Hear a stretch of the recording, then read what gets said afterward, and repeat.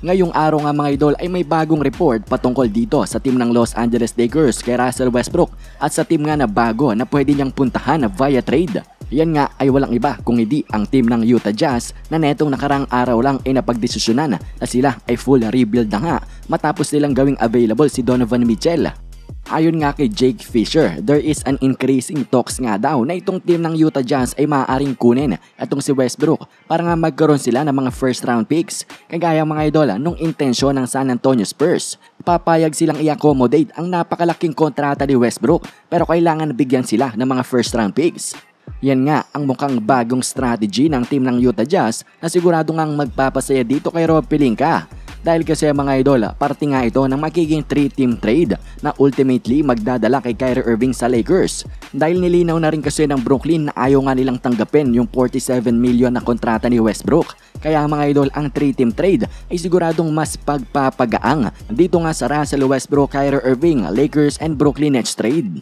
Pero sa ngayon mga idol, very fresh ang balitang ito, very raw, kaya wala pang masyadong detalye. Nag-uumpisa pa lang itong apoy na ito mga idol na maaaring ang lumaki at baka ultimately sila talagang maging trade partner ng Lakers para nga makuha itong si Kyrie Irving. Pero mga idol ngayon ay standby lang muna tayo sa mga susunod na galaw ng team ng Utah Jazz. Kung magiging willing ba sila na maging trade partner ng Lakers? Willing ba silang tanggapin ang malaking kontrata ni Westbrook para nga sa mga first round picks? Yang mga idol ang ating abangan. Pero puntahan muna natin ang ating next balita na patungkol dito sa unknown rookie na si Keegan Murray. Dahil kasi mga idol ay nag-iingay nga siya ngayon sa Summer League.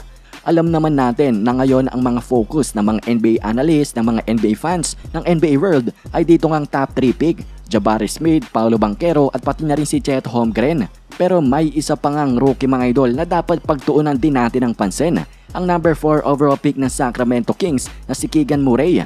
Dahil sa paglalaro niya nga sa Summer League ng apat na games, nag-average siya ng 23.3 points per game, 7.3 rebounds, 2 assists, 1.3 steals on 50% field goal percentage, 40% sa kanyang mga 3-pointer. At hindi nga natin mapagkakaila na itong mga stats na ito ay very amazing, unbelievable para nga sa isang rookie.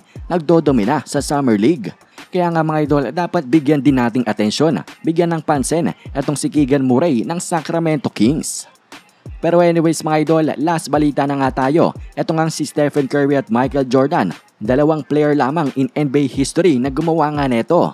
At yan nga ay umiskor ng 30 plus points sa 10 plus games in a single playoff run ng edad ay 34 plus years old.